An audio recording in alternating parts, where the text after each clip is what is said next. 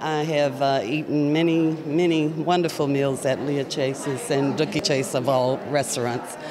And, you know, those are very um, memorable moments where family has come in or people from out of town that, you know, have visited New Orleans. And it's just a landmark where we're always there and welcomed by Leah Chase. And I, am just astounded to see that at 90, she's still cooking and still being in the kitchen and her resiliency after, you know, the storm to, you know, get the restaurant back up and running.